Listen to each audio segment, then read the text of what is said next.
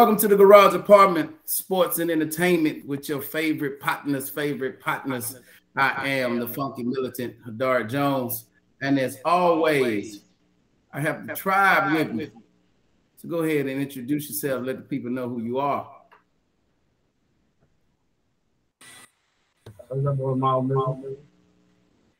B Mac back from Better Than Ever.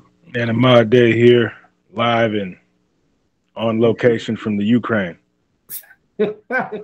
Or absolutely, absolutely. And as always, in a please, bunker. Please follow us on Instagram, Twitter, Facebook. Subscribe to our YouTube channel and check out our website, thegarageapt.com. Got some awesome things on there. We got interviews, we have clips, we have uh, uh, articles, and, and, many other things. So be sure to check that out. Also, make sure you hit a like on our YouTube page and on our Facebook page and all of our social medias. So, very, very, very excited. We have a bit of uh, American sports royalty. So, we have with us the first person to ever repeat as back to back 100 meters champion. She has long been a champion for women's equality in sports um, former world record holder in the 64 and 68 Olympics, Miss Wyomia Tyus. Welcome Hi. to the garage apartment, Miss Wyomia. Well, thank you very much. Thanks for having me. Absolutely. So now, again, there's so many things that we can talk about, so many things we can start with. Uh, I know that the, the, the, fellas and I have a thousand questions, but first, I just want to ask you because you have, again, like I said, you have long since been a champion for equality for women in sports. But in my opinion, I feel like it's too uh, much of it is unbeknownst to many. Uh, do you? So I view you as a unsung hero, if okay. you will. I'll do you? Do you? Do you ever feel that way? Well, no. I mean, you know what I do or what how I think and when I speak on what I feel and and talk about uh, equal rights and human rights and all that, I I think we all should be in that line of fire talking about that.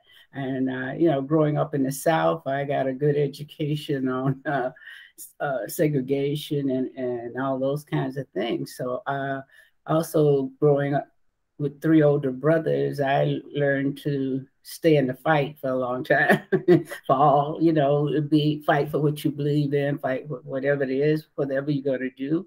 So that's where I come from. I just think that uh, you know each person have to find their own. And uh, one thing I always say is, we all of us are not always on the same page. So sometimes you have to wait, uh, you know. So you have to coach or you have to inspire other people and uh, hopefully, the things that I say and I have done have inspired other people to look at uh, where we are in this world today. So, I mean, let's talk about your origins because I know that you played multiple sports. And then, of course, this was at a time when uh, women's sports was not uh, nearly as popular as it is now. And then many would say it's still not as popular as it should be. Mm-hmm. Um, so how did you get into how did you begin running track? Oh, that started when I was a little kid. I mean, I, as I stated before, I grew up with three older brothers, so I used to run to keep up with them, run to run away for the fights and all those kinds of things. So I've always been very active. Uh, we, I grew up on a dairy farm, and on a dairy farm, I we didn't own the farm. My dad worked the farm, so we uh, our goals. I had three older brothers, and what our parents always said to us was that, hey, you know, my dad always said, I have worked hard enough, I've picked enough cotton for you guys never have to work the dairy or anything like what you have to do is go to school. And as he would say, get your lesson. That means, you know, you have to, you know, make it in school because he felt that going to school and education would help move you from where we were. So but growing up on a dairy farm, so and I only play had brothers to play with, so that's all I did. So I learned to play basketball, I learned to play all baseball, all the sports for boys because it was not really girls were not encouraged to do so. To, and not only that, not only were they not encouraged, the sports weren't available. I mean, we I ran track just because they had track there, and I played basketball. Those are the only two sports that were available for women young girls, and uh, so I did that. But before that, you know, it all started on the dairy farm, playing with my brothers, playing with the people in the neighborhood. Well, we lived in a, a white neighborhood. We were the only black family living there, and uh, the man that owned the dairy farm had what four boys and two girls, but as black uh, people, as black my, my brothers and boys, they couldn't play with the girls, and the white girls couldn't play with black kids anyway. So they allowed them to do that. So we I always played with the black, I always played with the boys. And, uh, you know, my brothers may have, I don't think they really thought about it. Sometimes they would say, oh, we don't want her on the team. We don't want her playing. And my dad would always say to them, hey, she's just as good, if not better than you. And, uh, and a lot of times when new people would move into the neighborhood, they had kids, they wouldn't want to play with a girl. We don't play with girls. We don't play with girls. And my brother said, Well, we have to. they can't play without me. And uh, so they would let me play. I mean, you know, I would play, I'd be on my brother's teams. And then, then you know, they realized, Hey, she's really good. And the next time we go out to play again, they want, We want her on our team. We want her. No, you didn't want me the first time. You can't give me the second time. so, so that's pretty much how it started. You know, I always wanted to be, you know, we would, you know, my brothers could ride a, a bicycle. I wanted to ride it better. Yes. You had your oh. hand up. Speaking of uh, being older brothers and playing sports, when when did you first have your like first idol, somebody that you really looked up to? Uh, in your well, that would have to be my brothers. I mean, they that's who I played with. I mean, they were they we were good. I let me just say that. As, and you know, the people, the kids we played with, we were we were good, and we were always trying to do better, and I always wanted to be better, and uh, that's what it was. So I didn't, you know, the look as far as idolizing somebody in sports or anything like that. That that was not a part of me as I was growing up at six, seven, eight, nine, ten, or whatever. I mean, I think once I started uh, getting involved in sports, I started looking at things a little bit different. But I can't say I, I, I wanted to, I couldn't, I can't say to you that, hey, when I grow up, I want to be like such and such. It was never that. I, when I grew up, I just said, if when I grow up, and as long as I'm playing, I just want to be good. I just want to be able to play. I just, you know, I want to be on a team. I said, I mean, I, I don't have to be the best person on the team, but I want to be a part of the team. And that's that was me.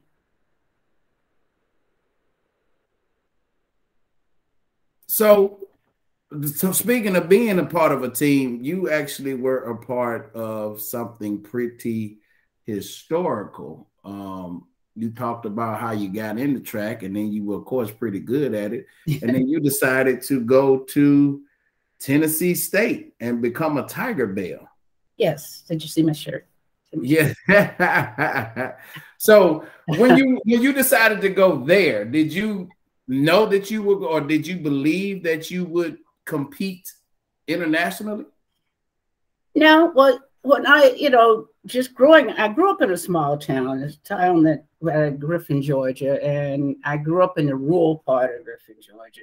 And schools were not integrated, so we went to segregated schools. So, you know, I we only activities they had, like when I was in elementary school for for girls, was that we have May Day. So you have May Day, you have your little sack races, they, they have maypole planting and all of that, and all and all I wanted to do when the boys were out on the field playing football, I wanted to be out there playing because that's what I did at home.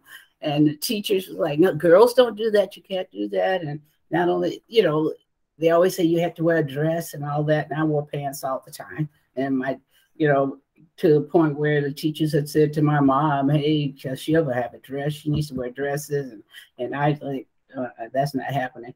And my dad says, oh, well, we can fix this you can wear a dress, just put your pants on underneath the dress, and you can go and do what you usually do. So there was a remedy for it.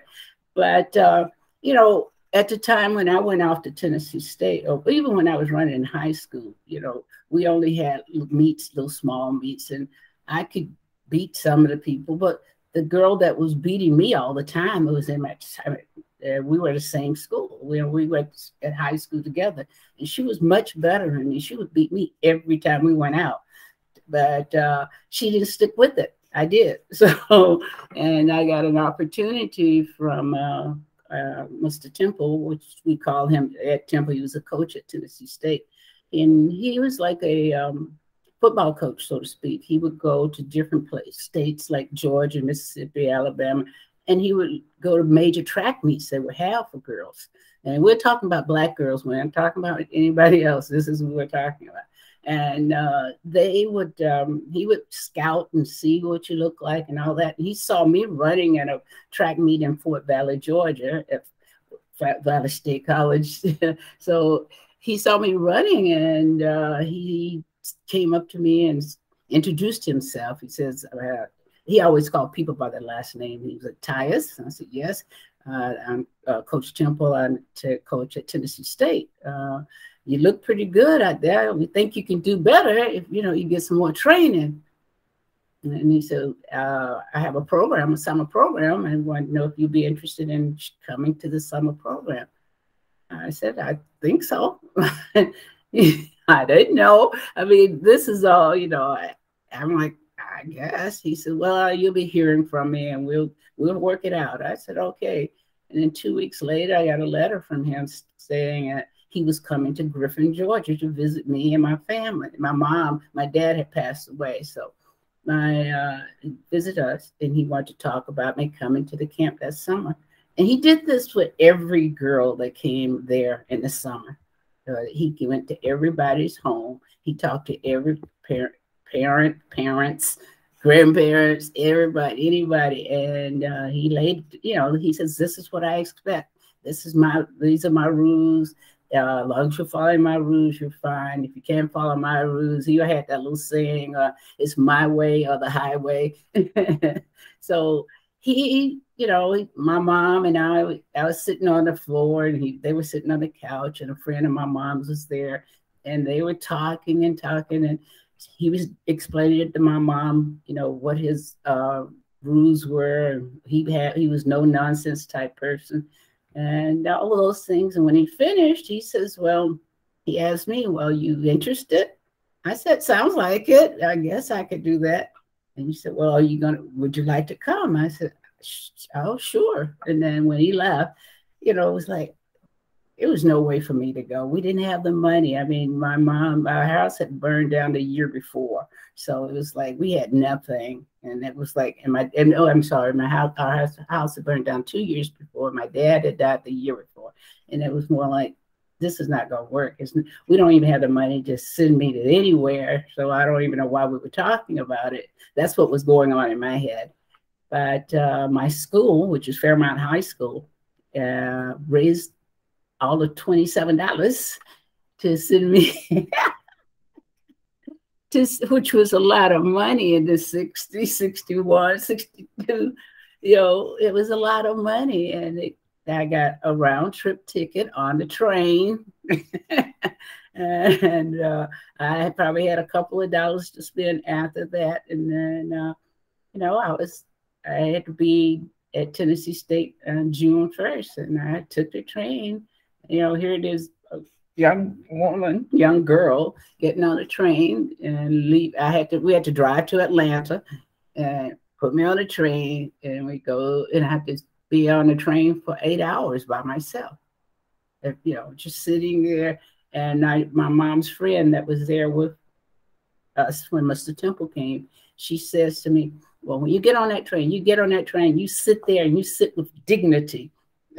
and I said, okay, and don't talk to anybody. We didn't have to worry because, you know, of course, the trains were segregated too. We, you know, all the black people were in one car, or two, uh, two of them, but that was it. So you were pretty safe. But you know, you think about to travel eight hours through the mountains of Tennessee, the Rockies. You know. How old were you? I was 15. Yeah. So, uh, but never gone, never gone anywhere. Never, definitely never gone anywhere by myself.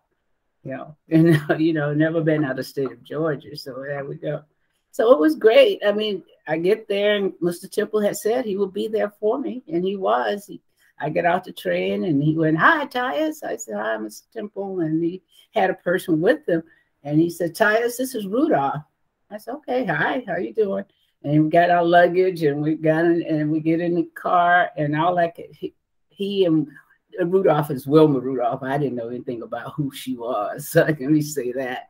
So we were driving, he's driving, and they're talking. He and Wilma are just talking, talking, talking, talking. And all I could say, gosh, what have I got myself into? God, they talk too much.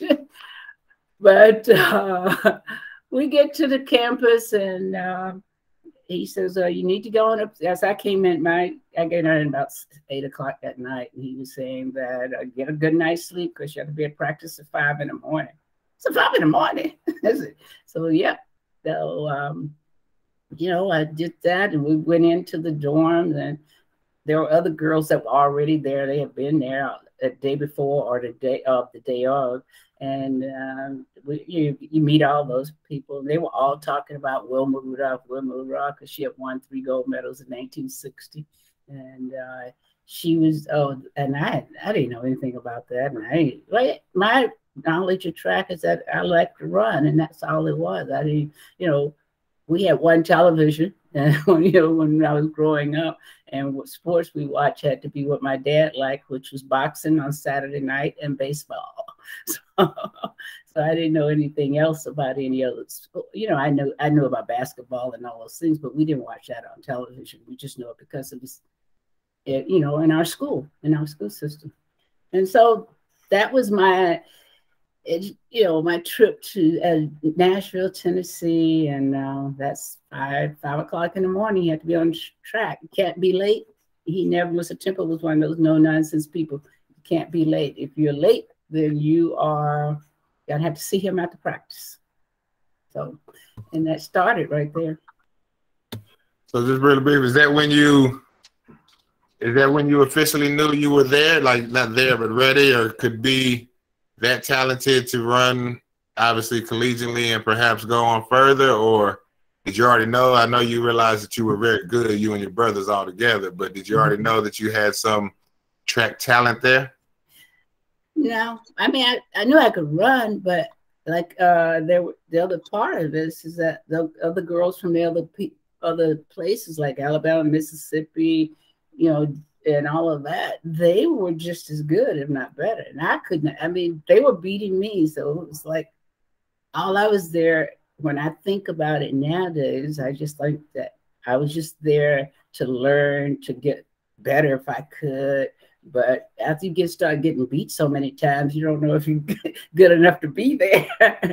and uh, you know it's like a lot of the and the practices were hard in the summer. I mean his practice was hard anyway but in the summer for the young high, high school girls when they came you had three practices. You practice at five in the morning you practice at nine and then you practice at one in the afternoon. So you know about anybody from the south know about that one o'clock sun.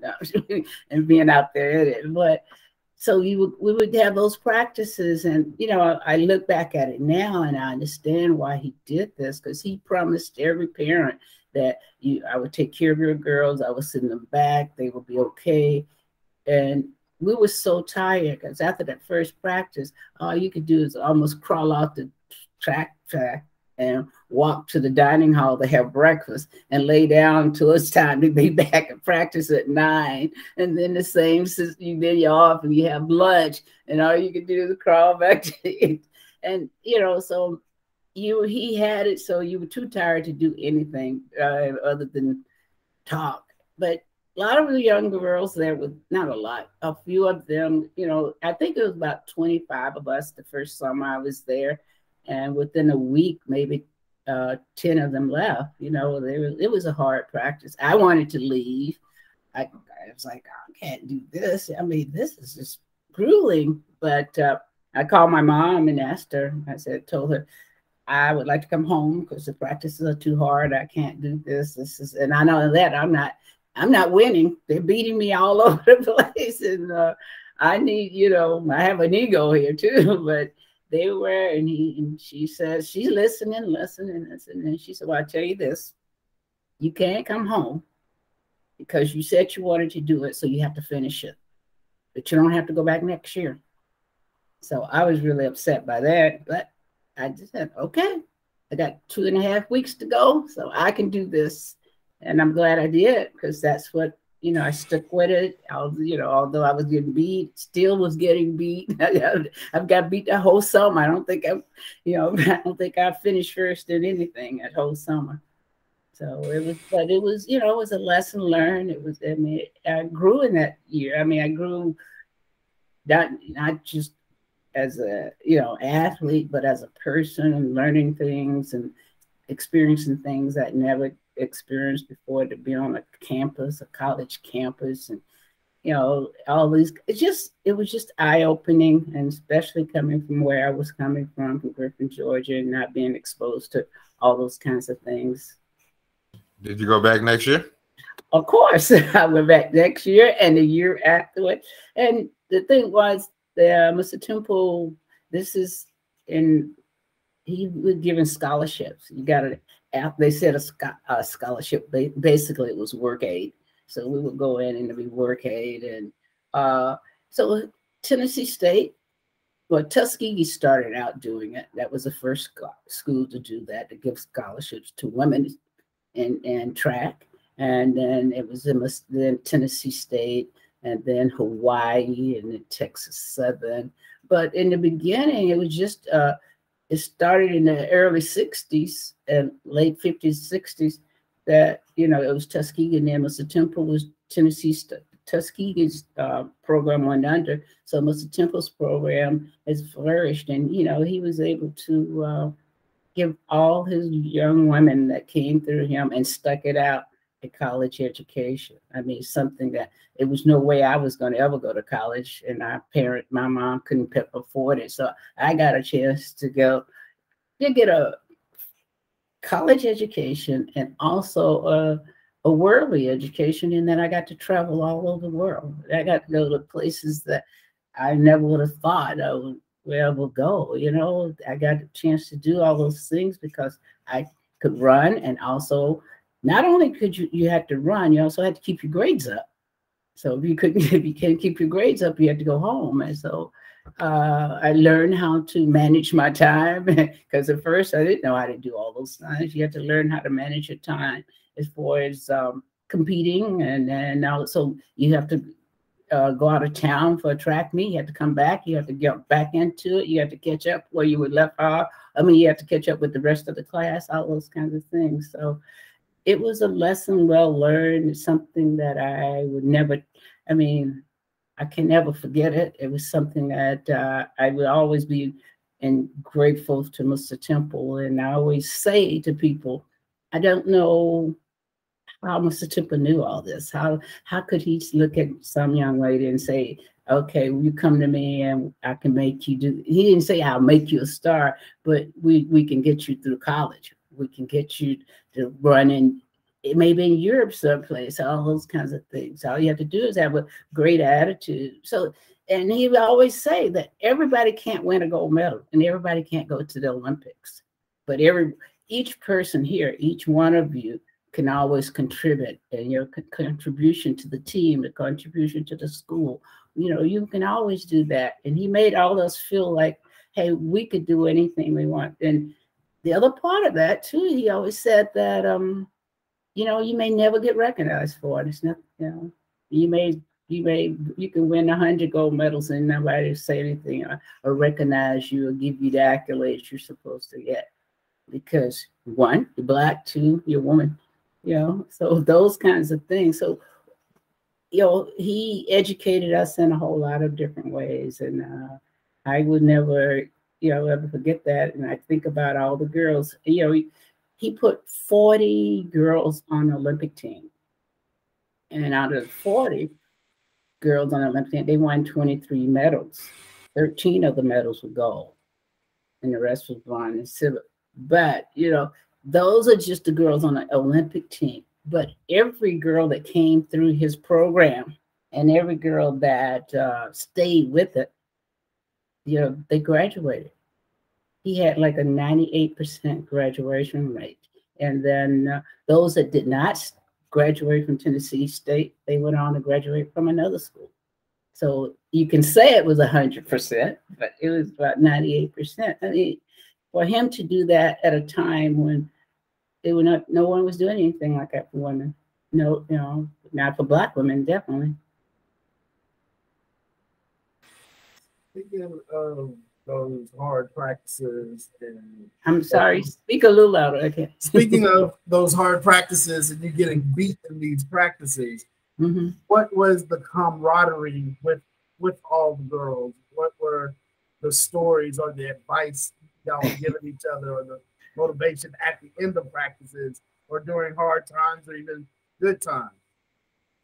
Well, one thing Mr. Temp, I also have to give Mr. Temple credit for. He was able to, his whole thing, uh, he would always say the older girls, you're to teach the younger girls because you already been there, you've done these things, you know. You know, it's like we were, it was time to go on a trip. He was, you know, he would, your older uh, Tiger Belles would always come in and say, okay, you have your clothes packed. Do you have this right? Do you have this? Do you have all this thing? And, you know, the camaraderie to, you know, I think we all got along. I can't, it's like a family. You know, you get along today, tomorrow, you may not. Uh, you know, and or then there's some people in the family that you're never gonna be, you know, this tight, you know, but there was always, but the key was we always looked out for each other.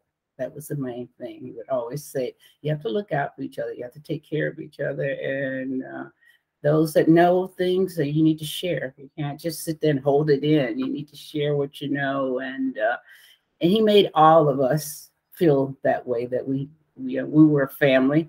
We were a big family. We're all not going to be winners. We all not going to get the same, you know. And they would always say, "Well, he had his favors." Okay, so he has his favorite. They say they say they say the same thing about a real, you know, your immediate family. You know, they say this, you know, mom like you better, uh, dad like you better. So, so, but you know, it was just a situation where Mr. Temple could do. I don't think everybody could be under him because he, you know, he was, as I said before, very strict, and had uh, uh, old, some old antiquated ideas. But uh, if you just went along with it, just not even he, what he didn't like is that if he's saying something, well, I don't know why I have to do this, why I have to do that, why he didn't care too much for that, you know. So you try to tell the other young girls that come in, hey, if he said it, okay, as long as he's not doing anything to hurt you uh, and or saying things that make you feel really bad. Because if he make you feel bad, you have to tell him. I mean, I, I mean, we understand that, but the key was that you don't always have to buck up to him just because you were used to a certain way of doing things and you come here and he says it has to be this way you know you, there's a way of getting around things that's how i would always say But now just, just talk about that a little bit more because you was, I mean, like you just said, 40 runners. I mean, you guys were dominant. I mean, the same, the same girls that you go to class with, the same girls that you're training with and going, y'all made up the Olympic team. Like we're not talking about y'all, made up the Olympic sprint team. We're not talking about girls from all over the nation. Like you are all coming from the same place. What was that like? it was great i mean you, you know like when we have time trials in um at school they're like the girls that were with wilma they were that whole crew they were talkers they're like okay i'm getting first. You're getting second? Today they that was that that's how they were uh when it came to like when i came in uh there was edith mcguire. She's from atlanta and and there is uh about five other girls and that were there. And we were all we weren't talkers like that. We just go out there and do what he said do and they you know like edith and i were best friends. And we had we met i was 15 and she was 16 that's when we met and um, she, when we went to Tokyo, you know, they had picked her to win three gold medals in in Tokyo, the 100, the 200, and on the relay. And, uh, you know, and we already know that I won the 100 and he got second, but we're as best friends. We've been best friends since 15. We're still best friends. We talk almost every day or every other day. And people, what you got to talk about? I don't know. Whatever comes up when we're talking. But uh, so, you know, you think about was there any arguments or all those kinds of things? Sure. You know, of course, you know, like any family, you have arguments, you have disagreements. But when it came down to what you had to do on the track and what you had to do in school, we, we were all there for you. You know, we were there for each other. You know, if you having trouble in school, you need, as Mr. Temple would say, you don't feel right good talking to me, talk to one of your teammates because I can guarantee you they've been there and they can help you with it. And the same thing. And if there's some rift between the Tiger Belles, that's you know, you know, they have to work it out because you're gonna be with each other. you know, you, you know, most of the time, um, all of us, well, we had a Tiger Belle roommate, at least, at least one. You know, not all the time. It's uh, three, uh, two Tiger Belles or three Tiger Belles in the room because at that time it was three people to a room. But but uh, he was um, so you have to learn to live in, in, a big family. That's all it is. And, and he was able to negotiate that and navigate everything and make sure we all felt some comfortable when where we were. And if you didn't, you were having trouble, you could talk, you could talk to him. Also his wife, who was also a, a big supporter and helped us out too. And you know, she would make um for every girl on their birthday, he she would make these German chocolate cakes. Oh, they were oh fabulous. So you know, so it was a, a real family. So we, it, you know, it was Mr. Temple, his wife. He had two children, and he had all of us. you know, we always say uh, he liked to hang out with fast women. so now, I mean, you you were saying you were getting beat all the time. Well, so with all of that talent, when did you realize you were good? 64 and at, at the Olympics in 64. It took that long? Yeah, if you're getting beat and all those things, you you know you're not thinking about. It. I mean, I was just thinking I, I'm enjoying what I do. I enjoy. I mean, I don't enjoy getting beat, but I'm doing the best I can not to. I'm still getting beat, and I, you know, I, I, I didn't think about all of that. I just, you know, I did enjoy it. And then, like in '64, when I Mr. Temple, I made the Olympic team. They take three people in each event, and I was the third person in the 100 meters. So you see where I'm coming from. So when I made the Olympic team, and the good thing was Mr. Temple was a coach of the Olympic team in 64 for the women. He was a coach. And uh, so we went to Tokyo a month ahead of time. So we were over there a long time. And, and it's a lot of training. And, you know, we got to, we also got to see Tokyo and got to see, you know, learn about the culture of Tokyo, of, of Japanese people. And then to go to the Olympic Games and live in an Olympic village and and where you have people from all over the world. And it was just fascinating to me in that to see all these different people, to see it, hear the different languages being spoke, to see the different uh, uh, outfits they would wear from the different countries, the native uh, address, all of that. And also, you had an opportunity to um, go into each dining hall that you would like to try and try the foods from those things. All these things were things for me that made me grow and made me learn so much about people and, and just see life a lot different. So just being in Tokyo and being on the Olympic team, I was just happy. That's what Mr. kept saying to me. Well, Tyus, all you have to do is just go ahead and do your best. And nobody expecting you to set the world on fire. We think you can do it. You know, we're looking at you for 68. I said, okay, Mr. Temple, sounds good to me. so I had no pressure going into 64. And uh, I can remember in the 100 meters in each heat, I won every heat.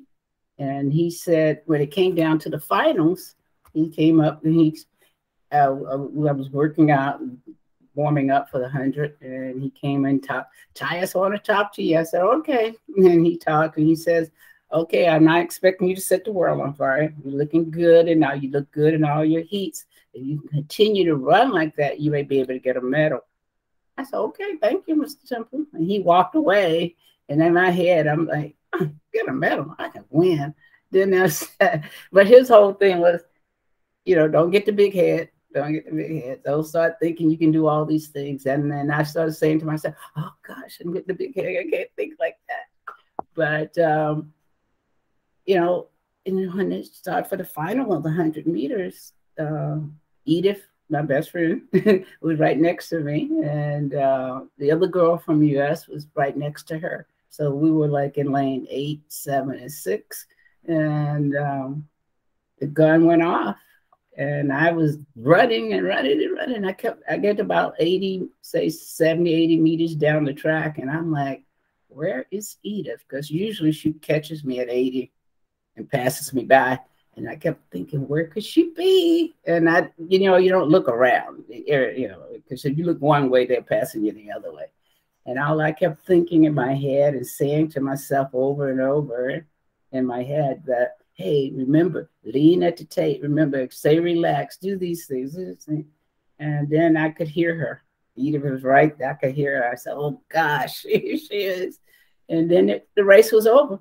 I didn't know, and then I, I, she was right there, so I didn't know right then that I had won. She's yelling, "Tyus, you won! You won!" I said, "I did." And she says, "Yeah, it's okay." so we were oh, okay. very happy. so I was gonna ask. I'm sorry. I was just looking at it, and you didn't seem to celebrate immediately, and so that's what I was gonna ask. Was how did what did it kind of take a little time to wash over or whatnot? But I guess you didn't know whether or not you had truly won at the time. That's so true. Because I mean, I I guess so you know, part of that being knowing your competition and knowing you have been nipped at the tape so many times. and so it was more like, okay, uh, okay. And I would just, you know, I can just remember saying to myself when we got ready, when we went up on the victory stand and, and got our medals and all that. And I kept thinking, gosh, Mr. Temple said, Hey, 68 is my year. I got four more years. What am I going to do? this, you know, but that's being 19 and, you know, kind of carefree. You know, that was, that was how that was. I mean, I was not, uh, nobody expected me to do anything. So no pressure was on me. The pressure was on my friend Edith, and that was about it. So you saying you felt more pressure after you won it? Because I mean, 64, this is right after Wilma just dominated, right? Mm-hmm. And now here you are, the same ladies under the same coach coming from the same place. You felt no pressure at all? Nope.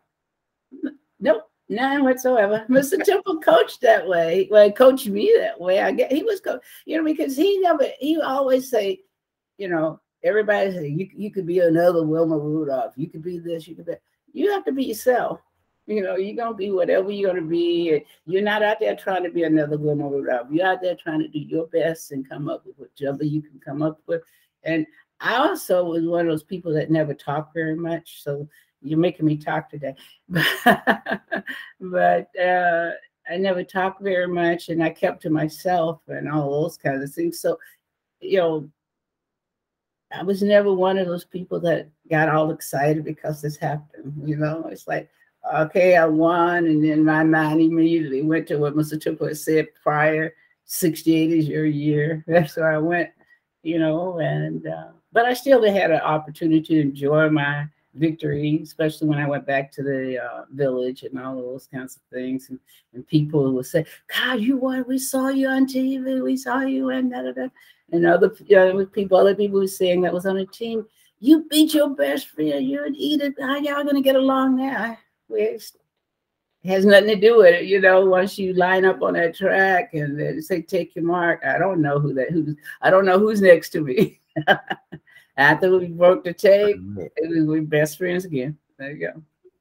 So going on those same lines, after the win, Mhm. um, how did it change for you? Like you say, you didn't really feel any additional pressure. You just kind of were moving on to the next year. But did life change in any way? Was it harder to go on campus? Was it people calling or people always waving and honking coming by the dorms or stuff like that? Oh wow. No, not in the 60s. they didn't do all those kinds of things. And also we were women. So you know they weren't doing it. We are women, I should say. They, weren't doing anything like that. I mean, when we went back to Tennessee State, they we had a you know, they made us at the airport have have huge huge student body, people, a lot of them were there. And you know, they did all that whole you know, give you key to the city and all those kinds of things. And we go back because Edith and I are both from Georgia. We went back there and they gave us a parade in Atlanta. Uh, the thing, the killer about the whole parade in Atlanta, they give us a parade in Atlanta, and they had my mom and Edith's mom. Both our parents were there because Edith's father died earlier too, and so it was more. So they were, were all on the on the floats, not the float in the convertible car waving and my parent and my mom and Edith's mom were just so happy to even be at a parade. So they never thought something like that would happen. And and uh we're going on and next thing we know, we're turning around and I'm like, what is going I didn't know what was going on. I found out later that um they only took us to well, Edith told me they didn't take us through the whole city of Atlanta. They just took us through the black neighborhood in Atlanta. so, so this is why I'm, you know, they it was just not there. You know, you didn't.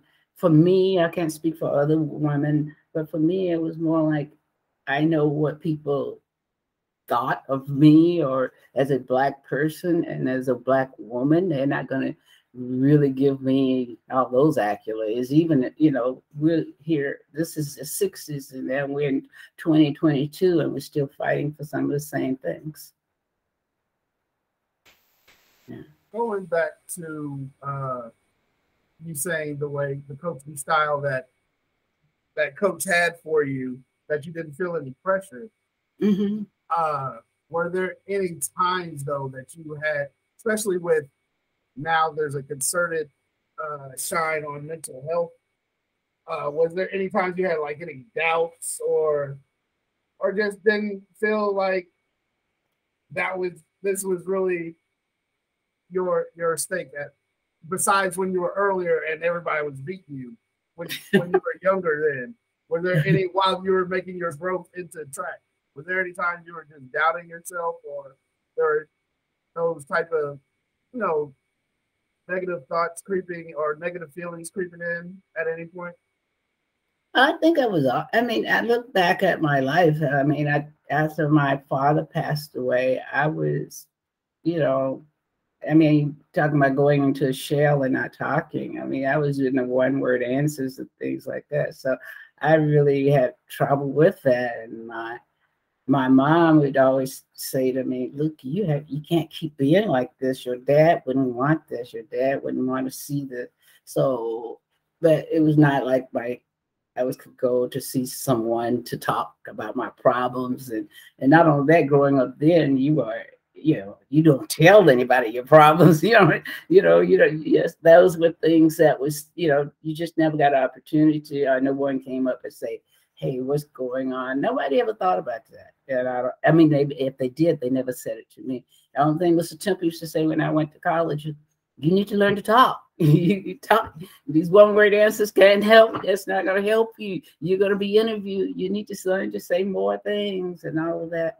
And I still did. It still, even in 64, it didn't happen. I mean, it was after 64. And I just think after that and just getting older, wise wiser, being exposed to a lot of things made me uh, talk a little bit more. But by the time I was 68, you know, I was talking a lot, a lot more, but that wasn't saying much. but,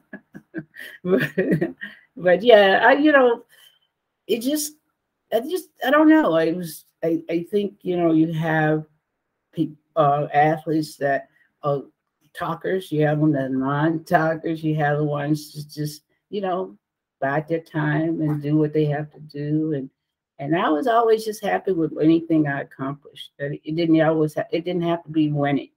you know, because I just felt like I have I've had opportunity to do something I never thought I would do. I have opportunity to travel all over the world. I, I you know, I, I, I was always bubbly inside with that in my head, thinking, look what I have, what I could I got, and look at the education I got, and not just I got a college education, I got a worldly education, I got to be able to, you know, as Mr. Temple used to tell the whole our team all the time, you know, you you just can't he would always say you just can't have track friends or athletes just be with athletes all the time. You need to have friends with all from all different walks of life. And so you know because that teaches you something. It teaches you to grow and you know and that and, and i you know these are kind of things that um you know a coach like i mean for mr temple to be able to say that and give his girls that kind of advice to say you know you can't it's okay to have athletes as your friend and teammates as your friend, but it should not be out. He always said you need to find people much smarter than you. you know, so they can you can see how they do things, and, and that's how you learn. I mean, it's like kids, you know, how they learn. They watch and they see things, and that's how that works. And he was able to coach his girls and have us be- believe in, you know, being all that and then he had girls, you know, he had Wilma, who was a talker. you know, she was a talker. And, uh, you know, she, as he would always say, she never met a stranger.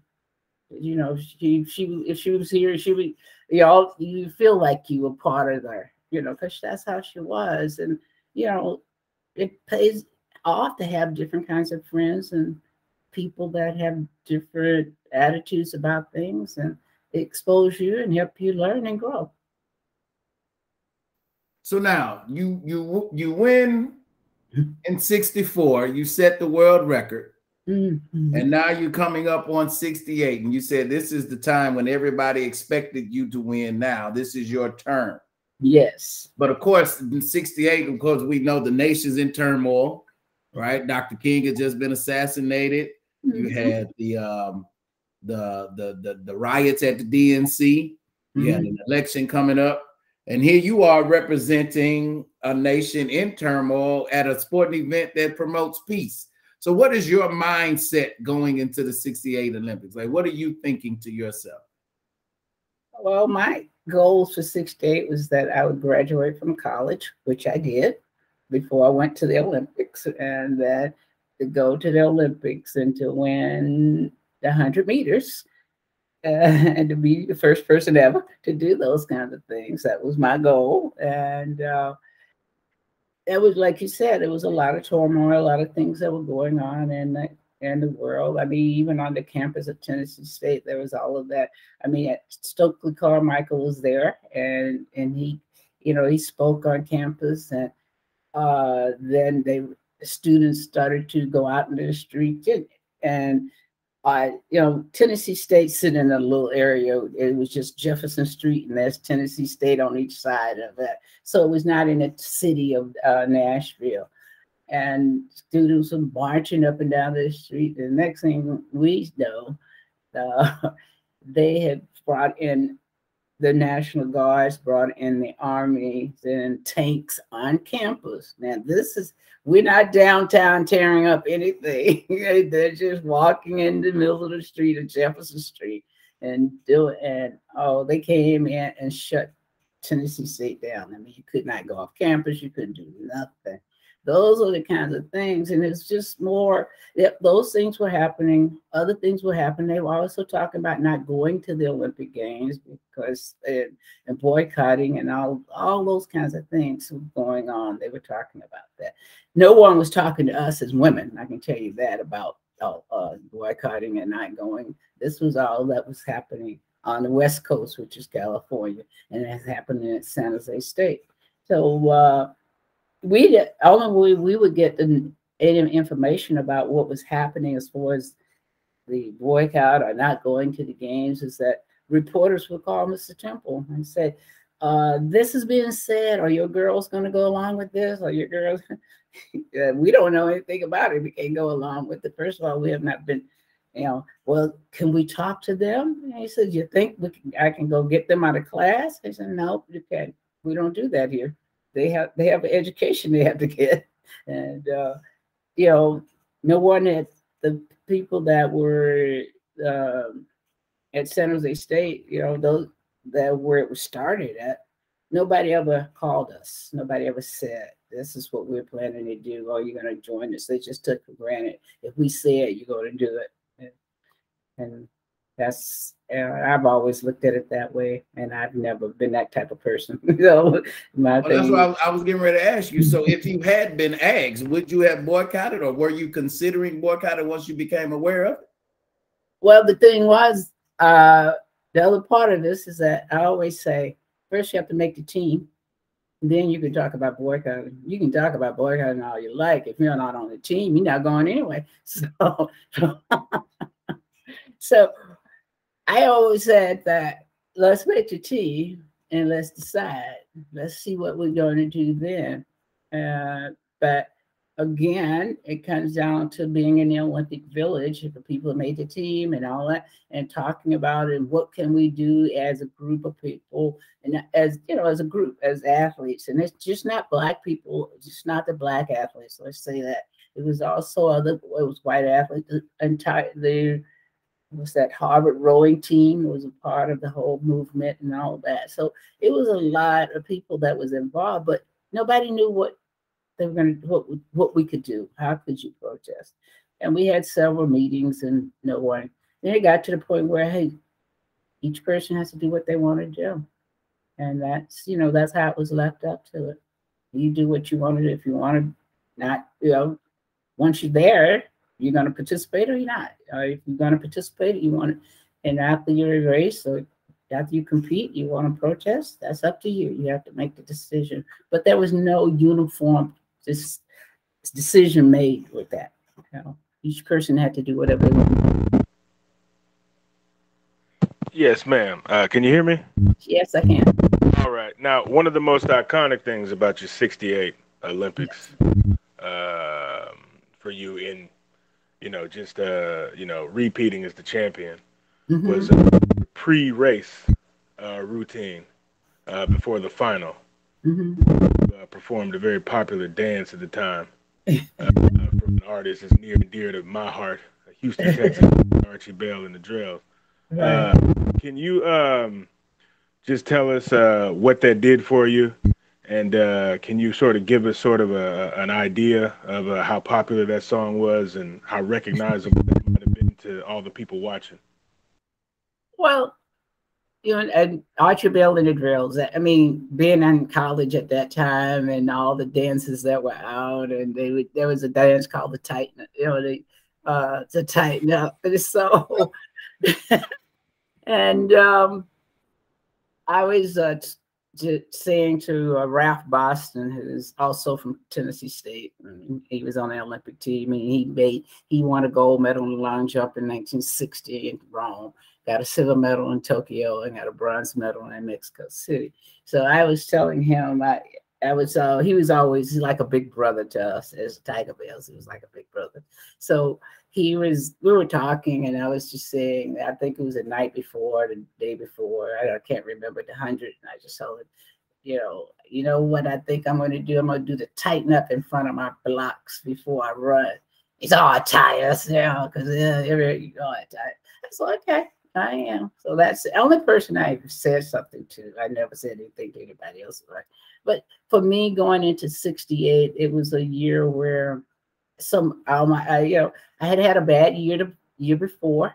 uh, when I said, I mean, to the point where Mr. Temple thought, oh, I don't know if you're going to even make the Olympic team. I had gotten um, a spider bite on one leg, and then I was at uh, at a campfire and somebody did paper on us and that burned on the other leg. So I was out of commission for a while there.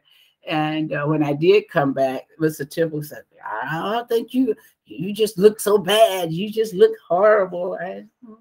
So it was the Pan American Games. And he kept saying, well, I don't think you should go because you look so bad. You need to go back to practice, go back to Tennessee State with me. And we just work on it. And I knew about his practices. And I said, no, Mr. Temple, I, I can do this. I can do this. Just let me No, because I looked really bad running the hundred meters. Matter of fact, I I, I, I got fourth or fifth in the hundred, and so he said, "You're not even going to be on a be on a relay team because of you. Know, you ran so bad." I was, a, you know, it was a 200. I had to run a 200, and I was like, he said, Well, you don't even like that. So I don't even know why you want to embarrass yourself. Why would you go out there and do this? This is at the Pan American Games. And I said, Just let me do it. I just feel like I, I can do this. I can do it. And he let me run the 100, I mean, the 200 meters. And I won the 200 in for the Pan American Games, which was great. And, uh, and he's, you know, and then, you know, when I went back to, you know, for the games for Tokyo, I mean, Tokyo, Mexico City, everybody was talking about, oh, even reporters, oh, oh, she's too old. I was all of 23, but I was too old to be running. I should, you know, I need to give it up. And all these young kids gonna do that. And my goal in life at that time was, um, I'll show them what old is. and uh, and that's how, but uh, you know, I, that was just in me. And then uh, when it came down to the 100 meters and I won the different heats and went through and came for the final.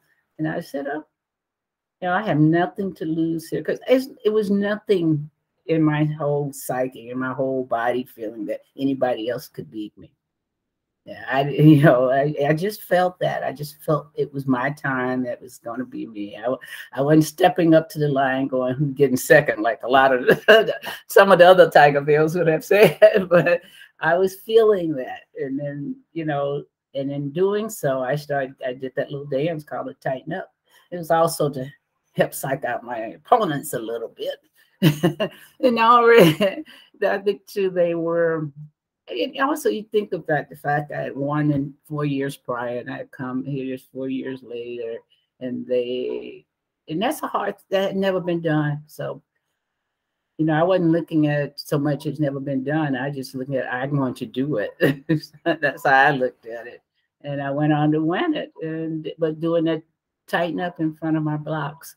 I've even had athletes come up and say from another country, "What was that strange dance you were doing? It psyched me out." Good. it did its job. I did my job. I did the job. So absolutely. So now you're there. You you you have an idea. You know what you're doing now. You know, like you say, you have your confidence back. You mm-hmm. you feel like you're the best in the world. Um, and then of course we know 68 is famous for the the the Tommie Smith and John Carlos protest, but you had a little bit of a protest of your own. What made you decide to do what you did the way that you did it? Well, as I said, stated earlier, is that you know, said each athlete wanted to do something. They had to come up with something they wanted to do, and I, you know, I never thought about what I wanted to do. I decided, I think, in um, the first day of competition, the first race I was in, you know, we all we all have to we always have to wear uniforms. And that first race I was in, I had on. Um, the whole uniform. And then I decided I'm not going to do this. My way of my protest and my way of showing solidarity to what I believe in and showing as I'm going to wear my black shorts. So I had black shorts and I wear my black shorts. And people always say, well, well what did they say? Because you have to stay in uniform. I said, I'm, first of all, they didn't even look at women. they didn't care what we had on. you know, because they let you know they did not even understand it. And then every in that now, you know, that's what everybody say. It was a silent protest for me. I, I just spoke volume so, for me, but it, it's that was okay. I wasn't doing it, but it was my way of showing solidarity with what I believe in, what was what I believe that we as a world of the country and especially with the Olympics, they always talk about it's no politics. It's always politics in Olympics. yes. So, as you were, you told us about the reception you got uh, in '64 when mm-hmm. they took you to the black area of Atlanta. Mm-hmm. How was it any different after '68? Did they give you a little bit bigger uh, reception, or but not in Atlanta. You know, even in '64, that's what happened in Atlanta. They, but when I went to Griffin, which is 40 miles south of Atlanta, my hometown, in '64 they gave me a big parade in, in my hometown, and then uh, and then in '68 the same thing. And in my hometown, they've also built a park in my honor called the Wyomia Tyus Olympic Park.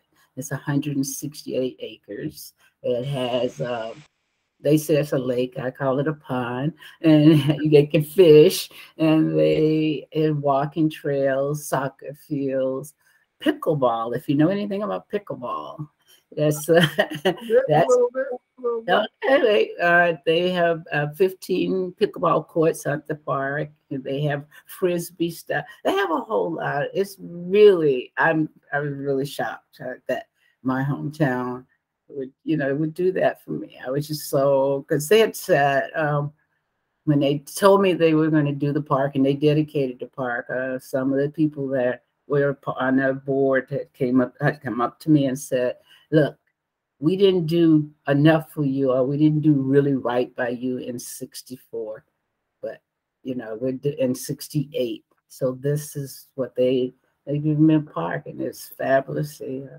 they now they put a big marquee up there says well I'm retired Olympic Park and have me in a and winning in '68. So that's good. It's not so small of a town anymore, huh? No, it's not. It's it's big now, but yeah, yeah. But I got a question real quick. I'm sorry, dog. Uh, going back to the protest.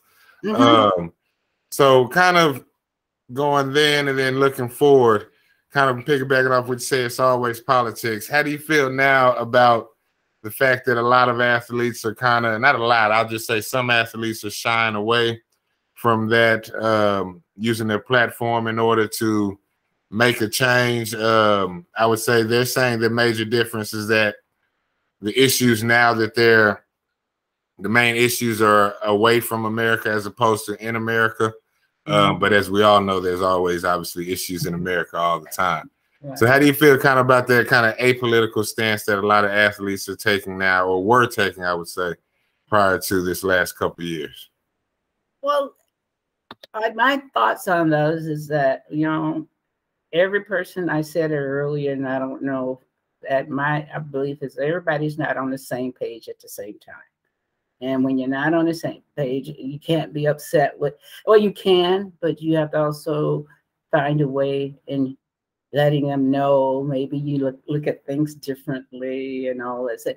And if you see that you can't do that, you just have to move on and that person has to grow. That to me is all about growth and it's all about uh, learning and uh, paying attention to what's going on. How does this affect you and how is this going to affect if you have children or you have uh, nieces and nephews or whatever, if you if you're not speaking up for things that are right, the things that could help things. And I mean, everybody and everybody is not able to do that. And I, and I, you have to do that. We are all individual. We, you know, we expect people to be on the hey, if this is so real, everybody know this. This needs to change But that doesn't make everybody right there. So you just can't count them out. You try to figure out a way how can you bring them in? How can and maybe they may not be as strong as you about your how you feel about the pro- protesting all that. But if you can just get them to start changing or start to look at things a lot a little different. But you know, and if you can't, you know, you can't. You have to continue. You have to go on. You have to go. You have to go to the ones that you can. You know, and uh, and I I just never have um, felt that you needed to. I needed to uh, badger someone because they didn't think the way I thought, or they weren't doing the things that I did. Because I always think about where I was when I was younger, where I was in '64, and because I was exposed to so much, I was exposed to so many different cultures, so many different people, and how they live, how they think, I went and had an opportunity to be a goodwill ambassador to go to Africa to see all these and these kinds of things that changed a lot of my thoughts and made me just speak out about things and feel and they were always in here but that i felt comfortable enough to speak out about it talk about it. And i think that's where we have to be you know some people just not there. And some of them and also we're not going to get to everybody.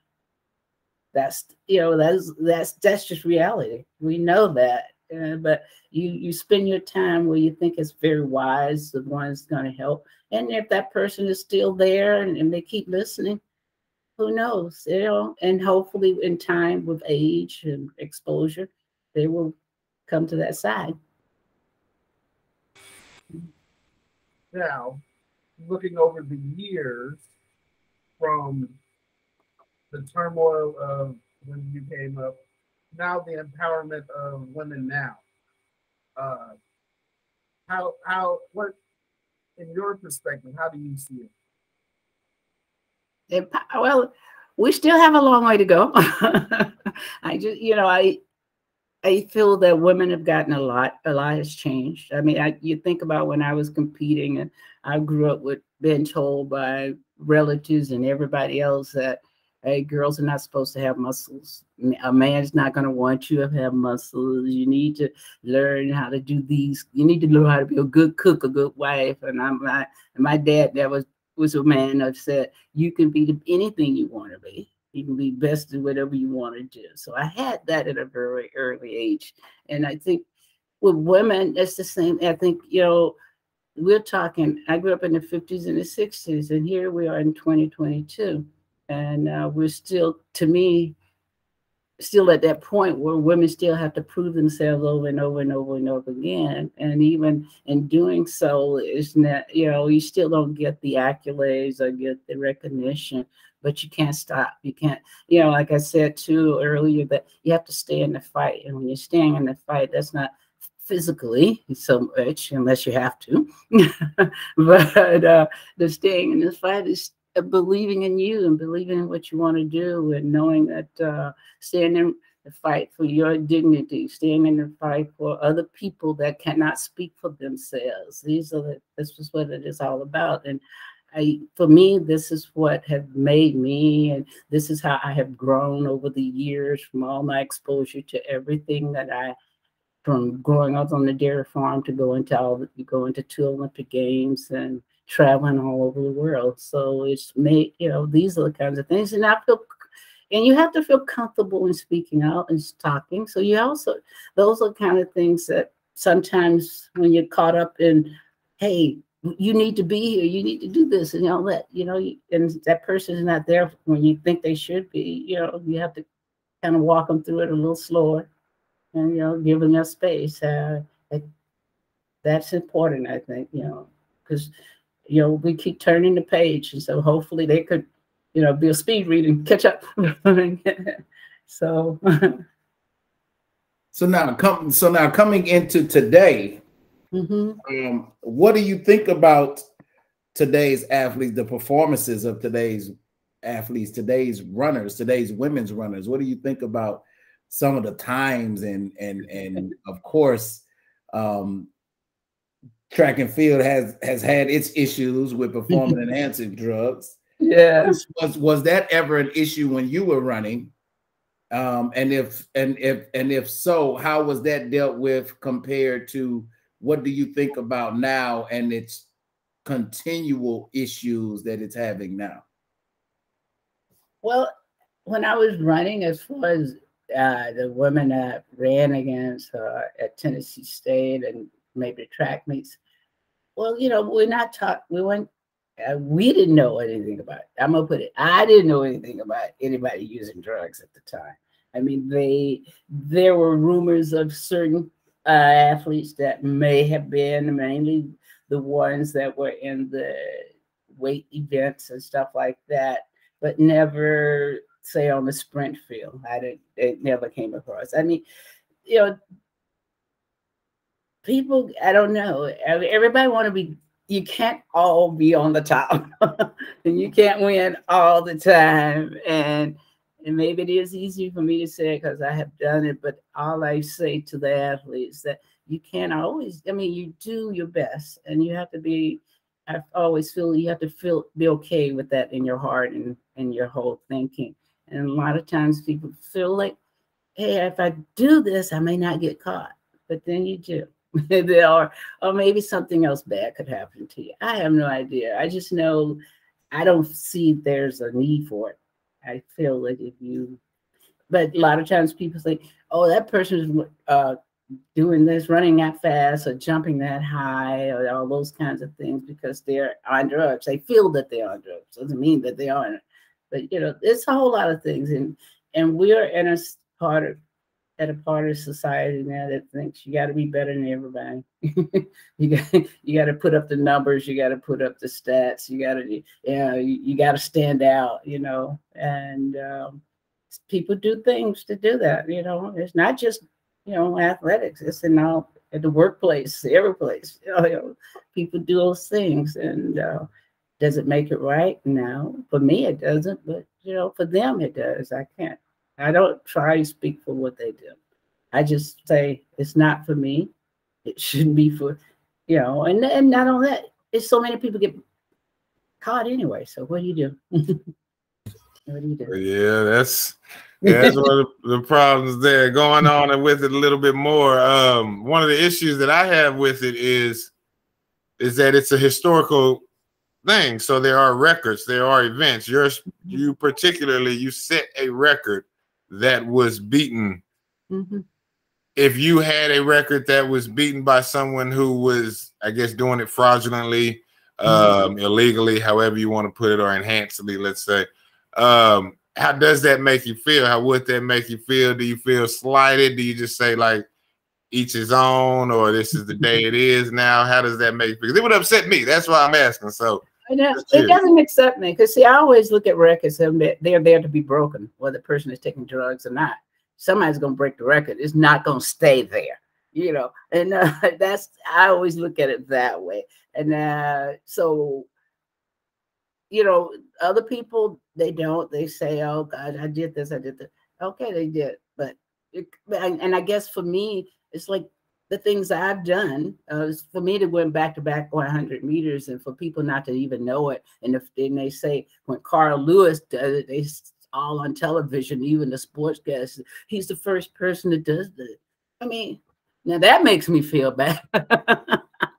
something like you know something of that nature. Rightfully but, so. Right? You know, see, but you know, I but records are there to be broken. I mean, it's like everything else. It's like everything. I mean, if you think, I think about like living in Georgia and living on a dairy farm. I didn't want to live that all my life. I want to move on up.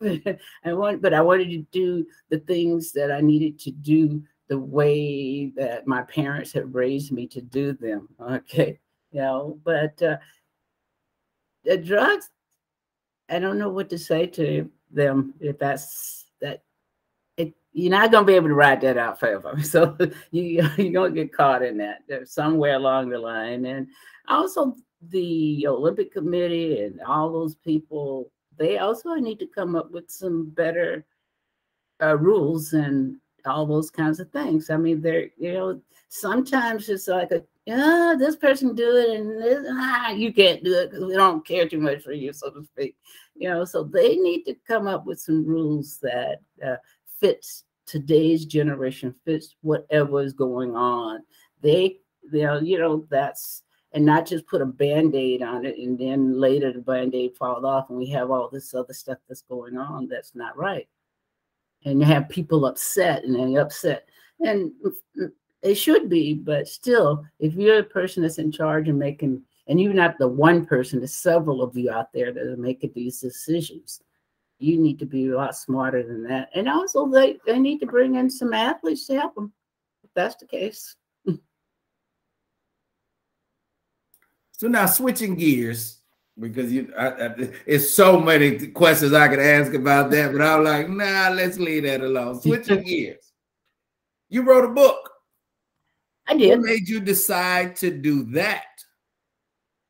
I, well, I never thought that I had anything to say, or first of all, I never thought that, uh, you know, and the person, uh, Elizabeth, who's my co writer, uh, when I first talked to her, she was like, you have a lot to say. You know, I didn't, you know, we were just had a regular conversation and she said, Your story is a story that needs to be told. And I was like, Yeah, sure. All these years and nobody wanted to hear my story. I mean, not only that, they didn't want to hear my story, they don't even give me the right part of the story. They don't give me the all the those kinds of things. I don't feel like fighting that. I don't want to, you know, I'm at a stage of my life. I'm enjoying who I am, where I am in my life. And I don't want to be all these other things. And she says, but people need to know your story. And I'm just happy to this day that I did let her convince me to write the book. And to me, it was for, you know, just to let people know it doesn't matter where you come from or how little you have or anything like that. It's about, you know, you doing you and you being happy with who you are. And I like to think that's what my book is about it. It's called Tiger Belle, the Wyomia Tyus story. It talks about me, but the other part of it, the main part of the reason I want to talk about it was because of Mr. Temple. Here's a man that has never got his due. And he never, and he's passed on now. And he used to always say, you know, give me my flowers while I'm alive, where I can smell them. and I just felt that here's a man that's done all this for Black women and for uh, Tennessee State University. If, if we were any other color, what would happen? How would he be recognized? He would still be recognized. And, to, you know, to put all these women on the Olympic team, to make sure every one of his girls graduated, whether they went to the Olympics or not, he made sure everybody graduated from college. He made sure of that. And you know, eh, uh, you think in 1960, the whole relay team in 1960 for the women were all from Tennessee State University.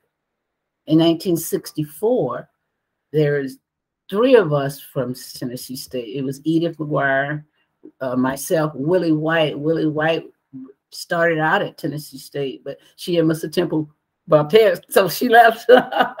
but you know, but she went on to graduate and then from an, another school and she went on to you know be on five olympic teams. And so she was on the 64 with the and then you come in 68 and you have me winning the 100 meters and, and then you ha- uh, had Madeline Manning uh, and, and that the win 800 meters the first time a uh, American woman has ever won a gold medal in that 100 and 800 meters and uh, and it just happened in the last Olympics for somebody else to do it. But you know these kinds of things that so I wanted to really honor him. It was my way of honoring him and writing the book, and uh, I always say now, see, Mr. Temple, I do talk, so it's in the book, and I, so that's why I wrote the book for that, and if it could inspire anybody, and I just don't think my book is just for girls. I think it is is because it's mainly about who you are as a person and what you believe in, how you fight for what your belief is, and uh, so that's why I wrote the book. How's the reception been on it? It's been good. Uh, need to be more.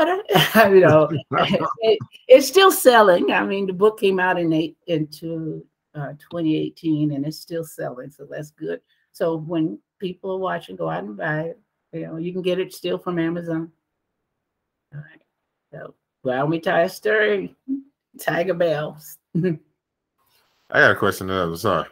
Okay. Uh, why do you think he had um, he didn't get the the credit or not the credit? I'm sorry, he. Why do you think your coach didn't get any credit? Because like I literally had to Google, mm-hmm. like had no idea. I had heard about the school and their prowess, but I didn't know the dominance. Mm-hmm. And then to see that it all comes back to him. Not only that, there, like you said, there were several of them that left and mm-hmm. still were cold or good and made it to the Olympics and stuff. And I got to attribute that to him as well. All right. So, what do you think? What do you think it was about Mr. Temple? That was that? Did he just have an eye, or was did he have a plan, or just the training, or what do you think it was? I just, you know, I still marvel at the fact that he could see it. How he, how did he see that this you know, how did he know Wyomia Tyus with a I was I was getting third and fourth when he saw me run, but he saw something in me that the people that were beating me, he didn't invite, but he invited the third, and you know. So I, he just he had that eye, and he had that, and to me, you know, it took it takes or took a certain kind of person to be on the Mr. Temple to you know, have him coach you because you know he, he he you know he never was a person that was short for words and he always spoke his words and said things that sometimes he would say things and wow why did you have to say that? You know but he would but that was him and you learn that but i just don't know why i don't know why people well i know, think i know why i mean well, i don't know why they would not give him all the credit because you know you talk you think about the basketball you know like a john wooden you know come on to me mr temple is that and more as I was thinking with Geno Auriemma, any other coach that would put an entire team in any kind of like this would be handball, mm-hmm. like lacrosse, like anybody put an entire team that consecutive, that would be yeah history breaking 30 for 30 type stuff usually. So he's had girls on the team from 1956 to 1980. 80 something 86 probably longer than that because uh, Matt LeMan was running. You know, so he's had people. I mean, I don't know. I mean, we know and we don't know. I, you know, it's but I don't labor on the fact that that I just, you know, my contribution is writing the book and letting people read and know these things and let them look at that and think about hmm, why is that? Like you know, like you were saying, hmm. Why haven't they talked? Why don't they talk about him? Why haven't they talked about him? Why? I mean, Nashville. I mean, the people in Nashville have talked about. I mean, he got a big old brown statue and everything in Nashville, but you know, you cannot speak on track and field about women without talking about him. It's just no way, you know, just no way to have to help people. And then you know, everybody's oh they were all sprinters. No, he had people, and not only that, he had a lot of girls, uh, well, from uh, Panama, uh, uh, Bermuda, uh, Jamaica. He's had all those girls to come through here. Got Tennessee State, got an issue. those things. They didn't for the U.S., but they ran the U.S. their country. But still, they went to Tennessee State.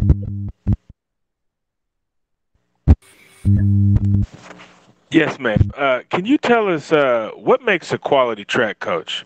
Um, are there some specific uh, criteria uh, that you can say? Because we talk about a lot of, you know, we talk about what makes a good coach and a lot of other things, but what makes a good track coach? What kind of tactical things do they teach you? Is it all training? Um, is the training the most important thing, or the tactical things that they can teach you?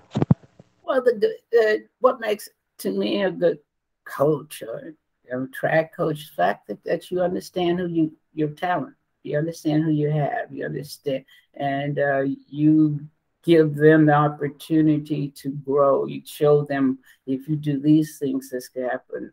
Uh, you make sure, like for us, Miss Temple was always that, hey, you uh, you have to graduate. You're not. It's no if I graduate. No, you're going to graduate. you know, we you're going to work your buns off, and we you're going to be have be tutored, and you're going to do these things. Uh, so, a good track coach is knowing your, who you have, giving them um, good instructions of not just about on being on the track, but uh, as much as you can about life and how life is, and having them set goals to where they want to go and where they want to be, and uh, if things aren't going right for them, they need to speak up. They need to speak out you know. Uh you know so the you know the whole thing is that you need to make the athlete aware that there are so many things out there that they may not know about because either they haven't been exposed to it, they're too young, or they've been exposed to it and they're just tired of it or whatever. You have to get and you have to keep them motivated. You know, you have to keep them motivated. And I think that's one of the hardest things too, to keep them motivated. And and you can't try to help them to understand just because somebody's running a great time or throwing a discus so far and you have not been able to do that doesn't mean you're not good. It just means that hey, you know, maybe you will come. Like for me, it was like I was not good. I was getting beat every day. Then 64, I, I blossomed. and it was because of uh, him co- coaching, also just learning and becoming stronger and understanding who I am as an individual and help a person to do that. And also let them know, hey, make sure the athlete know that, hey, if you're struggling with something, don't hide it. Share it with someone. You know. And it's a temple is all that. It's like, you know, I think about uh, when we would go on trips and stuff like that. He would always, whoever you go with, you come back with. If you go if you go out and partying or whatever, whoever you go with, you come back with. You don't ever leave anybody behind. You always, and you know, you know, like he would always tell us too about we we had an athletic trainer when you wanted to get a rub down, you could not just go in and get a rub down. It always had to be two people together. You don't leave your partner. You know, you say, all those kind of things are safe things to keep, you know, and that's what he said, and that's what he promised our parents that he would keep us safe. And uh, it may have been an old fashioned way, and sometimes you didn't like it, but it kept us safe. And that's what it's all about. And I think that's what coaches have to understand. You have these are not your children, these are somebody else's children. And you know, you gotta make them feel comfortable and you have to make them and they're not gonna always be kids, they're not gonna be young, they gotta grow up and they you know, they need to feel good about who they are and who they were as a young person and they're growing up to be a, an adult and help them with understanding. And it may not be the coach that can do it, but have somebody there to help them with it, you know. Well, we talked about Coach Temple and his great dominance, and all this comes from HBUs and the, the dominance of HBUs. There's been a mini resurgence in top athletes going back to HBUs. What is your perspective on what the HBUs bring to an athlete of our color? Mm-hmm. And if it's best that our athletes start going back to the HBUs to get their education and their and their preparation for life? Well, you know, things change. We all grow. This world is growing. I mean, like we would be, we definitely don't want to see things as they were when I was growing up. So, so, and uh, it's kind of like I think of um, what, Title IX, women, you know, it, that passage of Title IX and what Title IX done for, did for women and all of that. And, and it's still doing for women, but it still needs help and need people to be aware of it. And I think, you know, it when it Title IX passed, one thing that happens with uh, the HBC school, especially in track, I mean, you know, nobody wanted to go to Tennessee State. If I can go to UCLA, you know, good weather, if I can go to USC, if I can go, you know, those kinds of things. So, you know, those, um,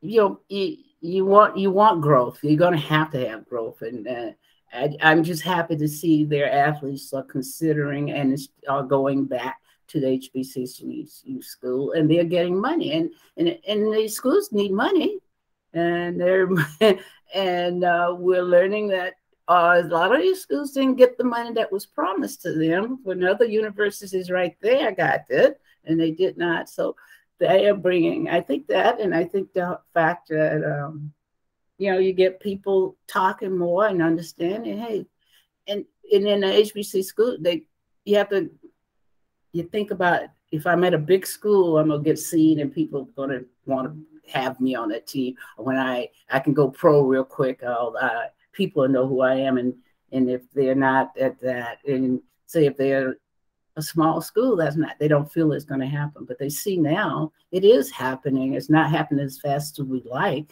but it is happening. People taking more now uh, notice of it, and uh, you know, so maybe things will change. You know, we're going back to how it used to be. and because there's enough talent out there and there's enough uh, athletes out there to go to any school and all schools and and it, they all could be great. And then and also the hbc schools to have to get more money to in order to compete with the other schools. Because you know the, the the equipment room the trainers the this and that you know the that's a whole and, and we the people that go and graduate from HBC schools also have to give back. You have to give back to the schools because uh, if you're not giving back, because that's how these big schools they, they got the people that graduated. Maybe they didn't play any sports, but they in a position where they can donate so much money back. So we have to get people to always, you know, those are the kinds of things that needs to. You happen. think it is?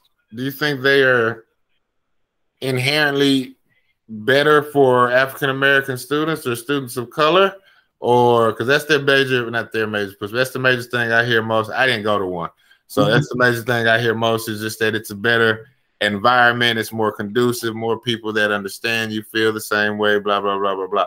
Do you agree to that? Do you prescribe to that, or do you think that that could be done in other places, or that that I guess it just depends on the time in this place? Well, I, you know, I just don't think we should try and take education from anybody where they ever want to go.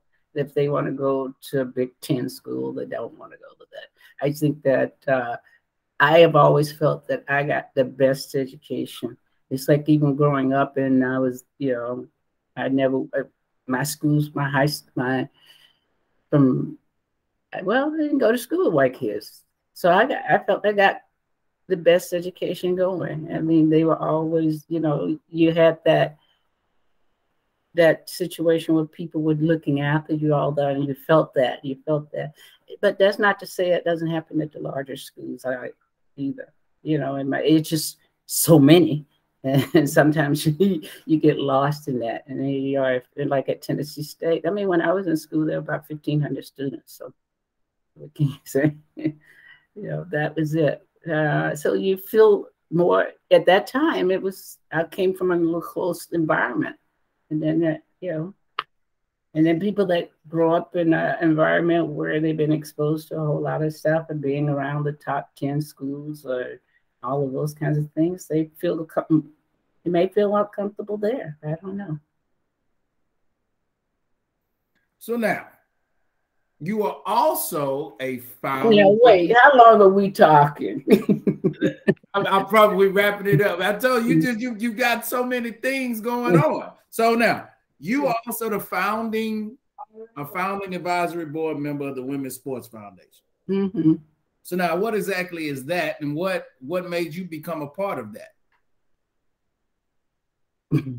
but it, well, the Women's Sports Foundation is basically one that got Title IX started. That's basically what that happened. That, right, because that's what I said. You mentioned Title IX, so that's what yeah. made me go ahead and ask. Mm-hmm. So that's that's the Women's Sports Foundation. It started with a uh, few women that were talking at uh, an event, and we see each other all the time at these events, and we would and we sit at, at with the banquet circuit, so to speak, and people talk parents would say, Hey, gosh, I wish I knew that I could run track. I wish I knew I could have done this. I wish I could. I wish I would like for my daughter to have this and. That. So we kept hearing that, and we would just, we all got, it was about eight of us that was talking once, and we start meeting, and there we go. There we have Title IX. and, you know, they push for, hey, equal rights, you know, women, girls should have equal rights and all that. And, you know, and be okay with who, who they are. And competing and it's being good at what and, and being told they're good and being happy with that. Absolutely. Well miss Wyomia uh, we thank you so much yes for stopping by the garage apartment. You have no idea how bad and how honored we are to have you um, again, we want to thank you for all the many things that you have done. Uh, we all have, well, I was going to say we all have daughters, but that's not true. We all are fathers, and some of us have daughters. And so the things that you have done, the, the blows that you have have made for the equality of of girls and women in sports um, is unmeasured. It is invaluable. And so we thank you and we are completely honored for you to stop by. Uh, um, go ahead and let everyone know how can they get your book again. What is the name of it? How can they get it? It's called uh, the Wyomia Tyus, uh, called Tiger Belle, the Wyomia Tyus story, and you can get it from Amazon. And it's a great gift for any boy, girl, older adults, all of that. It's great. It's great reading. Absolutely. And thank you again for everything. It was a complete honor. Thank you. Yes, thank you. Have a great one. All right. Bye bye. Follow the Garage Apartment on Facebook, Instagram, and Twitter. Brand new tweet, photos, videos, hashtags. Let me share some real quick. Follow me on social media. And subscribe to the Garage Apartment Radio on YouTube.